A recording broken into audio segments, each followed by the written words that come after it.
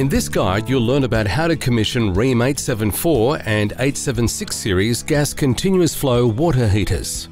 The guide is designed to help you understand the key steps involved and is not a substitute for the full installation and commissioning instructions supplied with the water heater. This guide is designed for authorised plumbers, installers and service agents only. There is a risk of electric shock, scalding or burns if installation, commissioning and all required safety procedures are not followed. The removal of any electrical covers will expose 240 volt wiring and hot surfaces. Always wear appropriate personal protective equipment to prevent burns or scalding. Wear insulated gloves and use insulated tools to reduce the risk of coming into contact with any electrical hazard. When undertaking service or diagnostic work on the water heater, it is recommended that a residual current device is used between the power point and the water heater to reduce the risk of electric shock. With the water heater installed, temporarily isolate the water heater from the electrical supply and turn on all hot taps. Turn off each tap as water flows freely and air is purged from each branch. Check external pipework and connections for leaks. Confirm the inlet water strainer is free of debris. Confirm water flow at each tap is sufficient, at least 3 litres per minute. Before commencing the inlet gas pressure and burner gas pressure checks, note the following important points. If an 874 series model is installed as an in-series gas booster for a solar water heater, then during the burner pressure checking procedure, the temperature of the water entering the in-series gas booster must be below 58 degrees C. Otherwise, the gas burners will not ignite and the operational gas pressures cannot be measured. The gas supply line to the water heater must be purged to remove any air from the line. This must be done in accordance with AS NZS 5601. Important, once the line is purged, you must wait 5 minutes for any residual gas to dissipate. If you do not wait the full 5 minutes, you risk igniting any residual gas in or around the water heater. The minimum required gas supply pressure at the inlet to the water heater with the water heater and all other gas burning appliances operating is 1.13 kPa for natural gas and 2.75 kPa for propane LP gas. If this minimum cannot be achieved, an inspection of the gas supply line may be required to determine why the correct gas pressure cannot be obtained. 1. Temporarily isolate the water heater from the mains power supply. 2. Close all hot taps and ensure the gas isolation valve is closed. 3. Locate the gas inlet test point. Remove the test point screw and washer and set aside. Connect a manometer and open the gas isolation valve. 4. Observe the gas pressure reading on the manometer.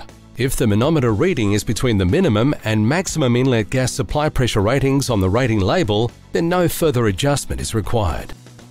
If the manometer reading is below the minimum or above the maximum inlet gas supply pressure rating on the rating label, an inspection of the gas supply line may be required to determine why the correct gas pressure cannot be obtained. 5. Switch on the electrical supply to the water heater. Turn on any temperature controllers, if fitted, to confirm they are working. 6. Fully open a hot tap and ensure the burner is ignited. It may be necessary to open a second tap to reach high fire. 7. Turn on all other gas burning appliances which are on the same gas supply. 8. Observe the gas pressure reading on the manometer. If the manometer reading is between the minimum and maximum inlet gas supply pressure ratings on the rating label, then no further adjustment is required. If the manometer reading is below the minimum or above the maximum inlet gas supply pressure rating on the rating label, an inspection of the gas supply line may be required to determine why the correct gas pressure cannot be obtained. 9 turn off the other gas burning appliances. 10. If an adjustment was made during step 8, repeat the procedure to check the gas pressure. 11. Close all hot taps and close the gas isolation valve. 12. Remove the manometer, refit and tighten the test point screw and washer. 13. Open the gas isolation valve and confirm the burner ignites when a hot water tap is opened. Now we'll check the burner gas pressure at both the minimum and maximum operational settings. Refer to the rating label on the water heater for the minimum and maximum test point gas pressure. Checking the minimum test point gas pressure. 1. Close any hot taps and ensure the burners are not operating. 2. Turn off any remote temperature controller, if fitted, and isolate the water heater from the mains power supply. Remove the finisher strips from the front panel and remove the front panel from the water heater. Reconnect the water heater to the power supply.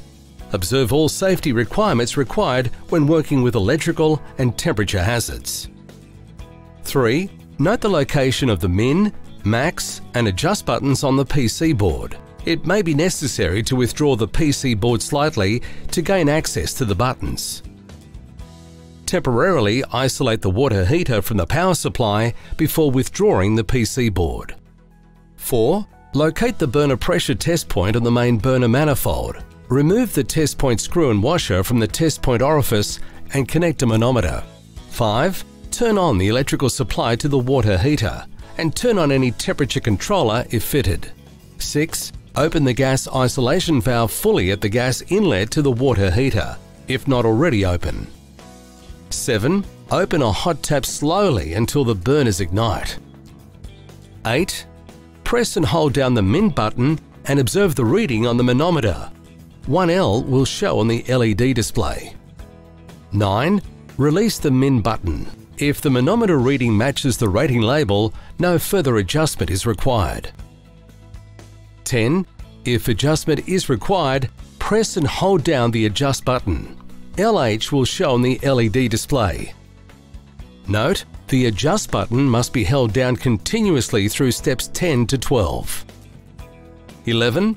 Press and hold down the min button and observe the reading on the manometer. The manometer reading will change as the test point gas pressure adjusts. Note, while the min button is pressed, the gas pressure will at first increase then decrease, cycling between an upper gas pressure limit 59 on the LED display and a lower gas pressure limit 01 on the LED display. 12. Release the min button when the reading on the manometer agrees with the rating label. 13. Now release the adjust button. Note, if the adjust button is accidentally released prior to step 12, or if the burners extinguish and error code 11 or 12 starts to flash on the LED display, release the min and adjust buttons, close the hot tap and clear the error code. To clear an error code, turn off the temperature controller if fitted by pressing the on-off button. Switch off the electrical supply to the water heater. Check the gas isolation valve at the gas inlet to the water heater is fully open. Wait 5 minutes. Switch on the electrical supply at the power outlet to the water heater. Turn on the controller by pressing the on-off button and then recommence the procedure from step 10. Checking the maximum test point gas pressure. The procedure to check the maximum test point gas pressure is similar to the minimum test point gas pressure from steps 7 to 13. However, we now use the max button instead of the min button. 7. Open or hot tap slowly until the burners ignite. Note, it may be necessary to open two or three hot taps fully depending upon the model of water heater and the incoming cold water temperature. 8. Press and hold down the max button and observe the reading on the manometer. 6H will show on the LED display. 9. Release the max button. If the manometer reading matches the rating label, no further adjustment is required. 10. If adjustment is required, press and hold down the Adjust button. LH will show on the LED display. Note, the Adjust button must be held down continuously through steps 10 to 12. 11.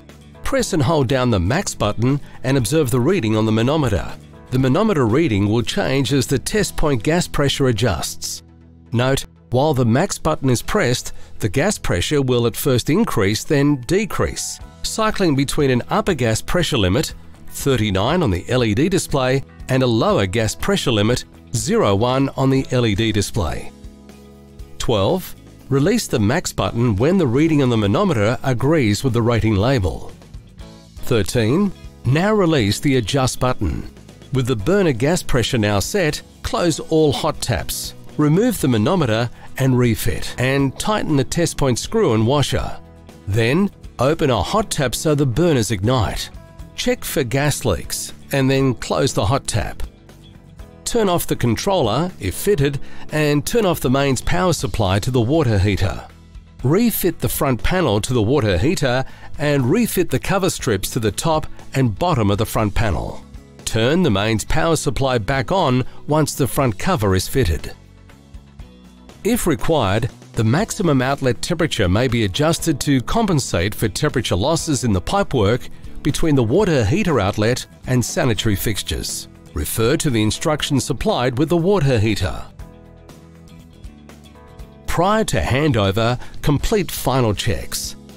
Hand over any product documents to the customer or building manager, or place them in a safe, dry place for use in the future.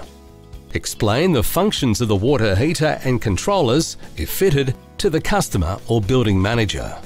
For technical support on all Rheem products, contact us on 1300 712 863 or to book a service call, contact us on 131 031.